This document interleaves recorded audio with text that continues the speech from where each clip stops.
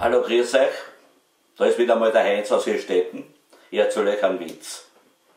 Zwei ältere Männer, schon jenseits der 80, sitzen auf einem Parkbankerl und sinnieren so. Sagt eine, Mein Gott, na, Falte, kannst du noch erinnern, wie das war in unserer Jugendzeit?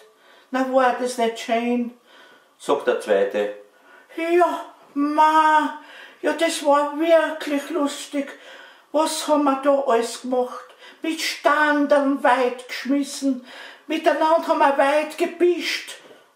sagt der andere. Machen wir's wieder? Ja, probieren wir's aus. Na, die zwei stehen auf, machen sich zu schaffen, da unten im Unterstübchen und dran umeinander und auf einmal sagt eine, Oi, oh Jesus, oh Jesus, Jesus, jetzt, Jesus, jetzt habe ich meine Schuhe abpinkelt. sagt der zweite, Hast du dann?